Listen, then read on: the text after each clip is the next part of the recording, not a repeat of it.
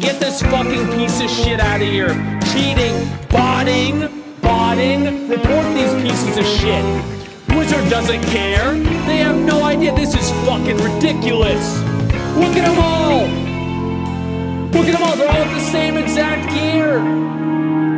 Oh my fucking god, dude. This is it. I'm tired of it. We're gonna fix this right now. We're fixing this right fucking now. Everybody get the fuck over here. Report these pieces of shit.